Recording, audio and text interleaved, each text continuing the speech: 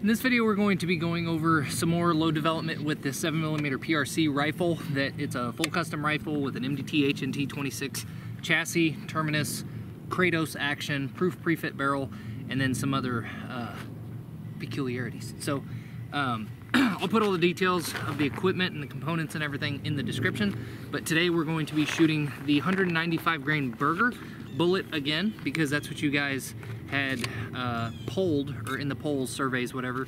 You guys said that's what you wanted to see the most. So we're going to be trying these with H1000. We're going to be working from 63 grains to 67 grains in one grain increments.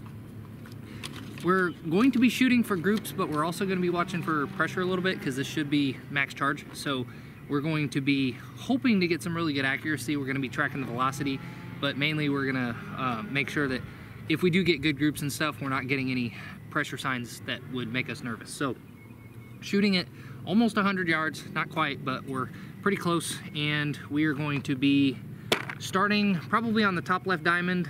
I'm gonna put a sighter on the paper with the first group that, or the first charge that we're going to be shooting the first group with just to make sure we're on paper. I have to fix the target right now because it just fell down and uh, then we'll just see how it does. All right, first group is gonna be 63 grains of H1000 behind that Berger 195.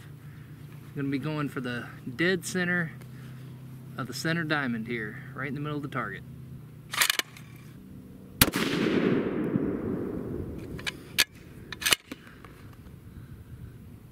I'm already feeling a little bit of a heavy bolt lift. The first shot that I put on paper as a sighter didn't, but that one kind of felt a little sticky. Now, some of this brass, actually all this brass has been fired several times. I think it's on its third or fourth firing at this point. And some have had hotter loads ran through them and some have had cooler loads ran through So ultimately it's it hasn't all been sized perfectly because even if you set your die up the same way, if the brass expanded more on some than it did on others, they're not gonna size all the same. So some of these may be just a little bit sticky because they didn't get sized enough, which is my fault, and I'm not gonna blame the load. So we're gonna keep shooting, but I just wanna keep you guys informed as to what's going on here. Twenty-seven seventeen. That one kind of felt the same. Brass looks okay though. The primers are not making me nervous by any means.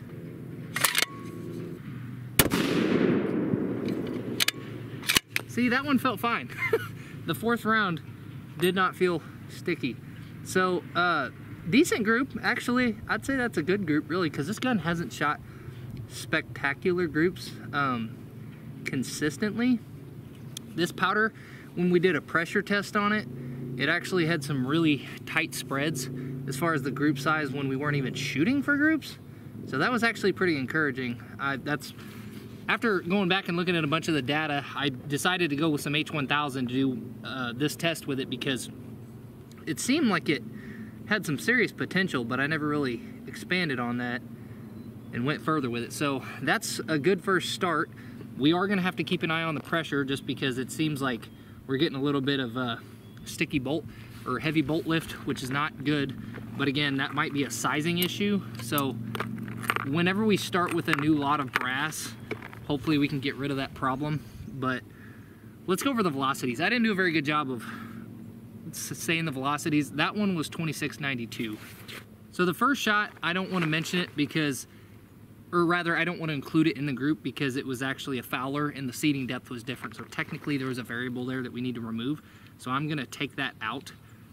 The first shot that we shot in that group was 2707 and then the second one was 2717 and the last was 2692. So ultimately that gives us an extreme spread of 26 and a standard deviation of 11. So that's not fantastic, but it's it's okay. I mean, it's not bad. It's it's a good spread, but it's not a great spread. We could be doing a little bit better. I did change the seating depth on these since we did the pressure test. The throat seems to have eroded a little bit, so I just went ahead and moved them out to what I felt comfortable with. To I normally try to keep it 20 to 40 thou from jam. Um, I'm not saying that I recommend that, but I just like knowing that it's not being jammed. I don't necessarily need to have it at a certain depth to be happy. I just want to make sure that it's safely away from the lands because I do not like the idea of jamming bullets. I think it's dangerous and I think it's to be blunt, kind of stupid. Um, but again, I am just trying to keep it safe and functional. So that one shot pretty good. We're gonna go ahead and continue the test. I am gonna stick the barrel cooler in here this time. It's warmer today than it has been for the last several months. So we're gonna go ahead and try to give this a little bit more of an opportunity to cool off before we shoot the next group. And then we'll repeat the process with 64 grains. And we're probably gonna go for the top left diamond. All right, next up is 64 grains of H1000. And we are going to be going for the top left diamond.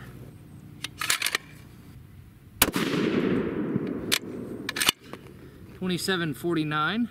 Still had a little bit of a heavy bolt lift on that.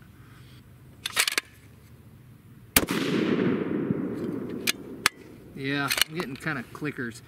I really don't want to blame this on a hot load. I honestly think I just didn't size these enough, which is 100% my fault. And I'm speculating. It could just be a hot load, but I just, I really think that this is a, a sizing problem because I've had this before.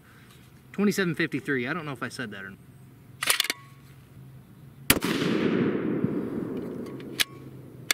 Yeah, still getting clickers. Well, anyway, the velocity was 2734. All right, so our average muzzle velocity was 2745. We had an extreme spread of 19 and a standard deviation of 8.2. So obviously that was better than our first group. It looks like the group was really good too. We're shooting about half MOA, I think, on that second one. That first one might have been three quarter MOA. So we're not doing bad as far as accuracy is concerned. Both of these have shot well. Um, the spreads have been good. Uh, the first one was not as tight as that last one, but still not bad. And the, the accuracy has shown clear potential. So it's shooting good. Like this is, this is a good place to at least start as far as trying to find a good hunting load because I do ultimately want to use this gun for, for hunting this upcoming season. We shall see what that ends up turning into, but that's the, the ultimate goal right now. So we're gonna keep going. We're gonna keep an eye on the pressure, um, keep feeling things out, try to keep the barrel somewhat cool. We're probably shooting it kind of warm right now, but we only have so much time. So we're gonna just try to be safe and get through this test and we'll see what happens. So next one is gonna be 65 grains of H1000 and we're gonna be shooting for the top of the center diamond.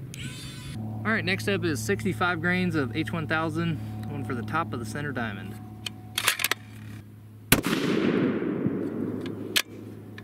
2797. I'm getting pretty consistent heavier bolt lift, so I would recommend staying away from these charges just to be clear. 2797.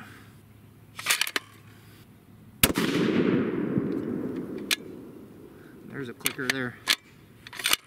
2779. Some of these loads, the, the spreads are decent on them, but I just, I would I would not, if I were to tell you guys what to do, I wouldn't keep shooting these. If you're getting clickers like this and heavy bolt lift, I would just stay away from it. It's, it's, we're bordering on safety issues here, so I'm going to continue shooting this, but if it gets to the point to where it doesn't feel safe anymore, I'm stopping. And I'm, I'm right on the edge of that. So I'm gonna try to keep the barrel cool and see if we can get through this test, but I, I would highly suggest against continuing to shoot these. Just being upfront with you guys.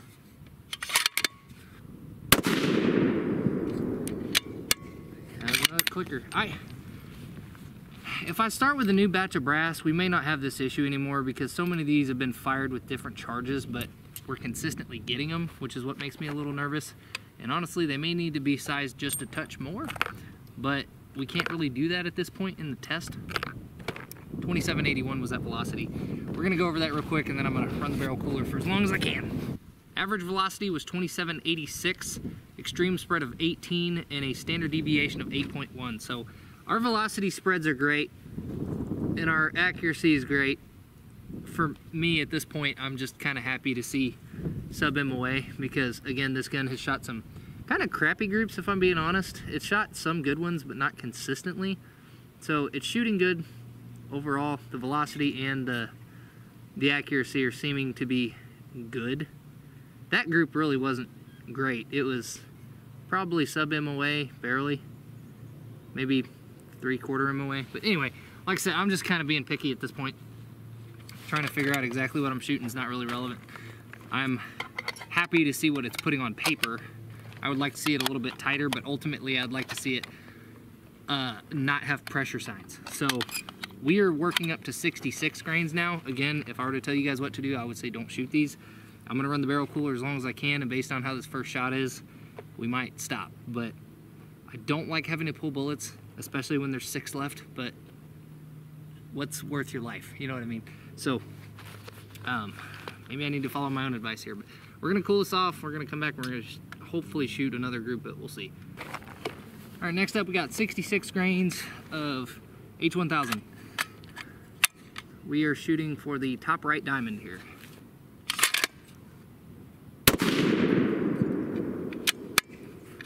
Same clicker.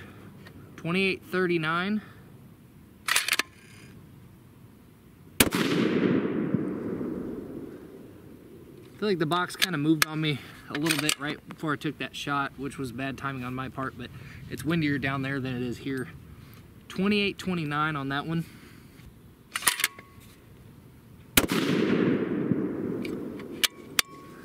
2832. So I do have a theory.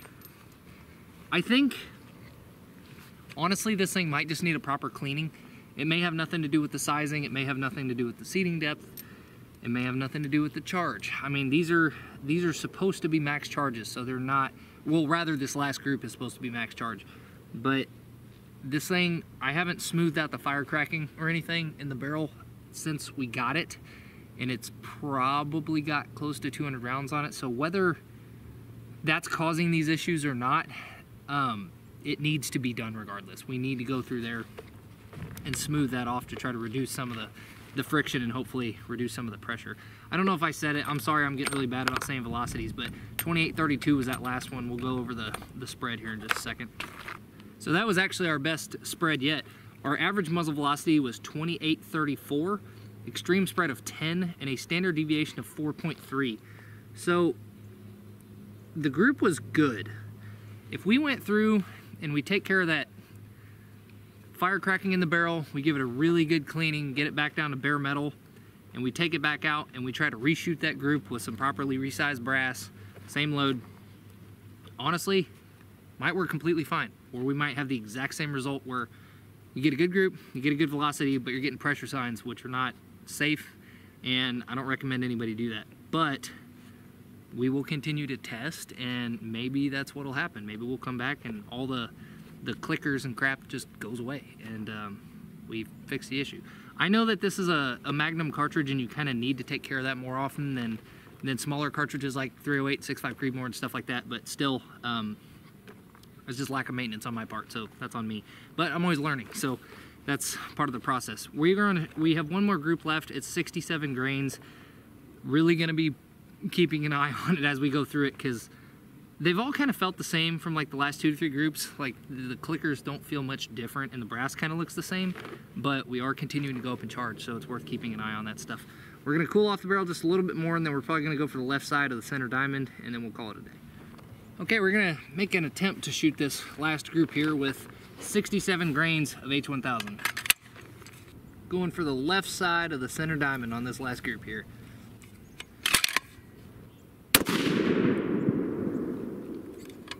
Twenty-eight eighty-one. Still got some pretty hardcore clickers.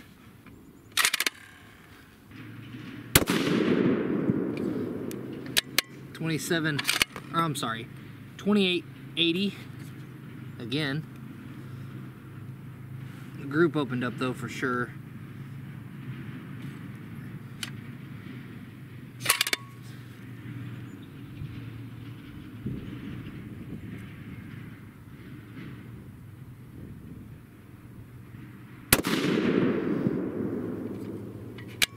Twenty-eight eighty-six. Yeah, that's that's not good, guys. You don't want this. Okay, we got through the test, but here's the deal. This can literally damage your action.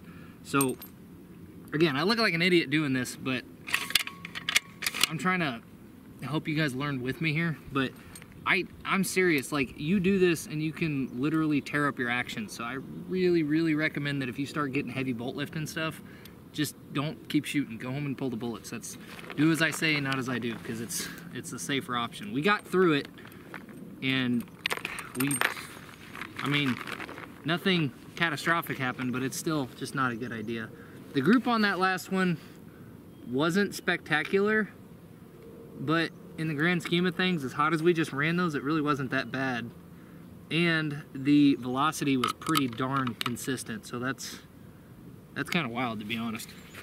Kind of expected the velocity to get a lot more erratic on that last set there, but uh, we had an average muzzle velocity of 2882, extreme spread of less than 7, and a standard deviation of 2.9. So the velocity was very, very consistent. The group was okay. I wouldn't probably choose that one if I had to pick, but again, this gun needs a very deep cleaning and then after that we'll have to do a little bit more testing we might revisit some of these loads but um, ultimately in the condition that it's in right now I would highly suggest against shooting stuff that's that feels that hot.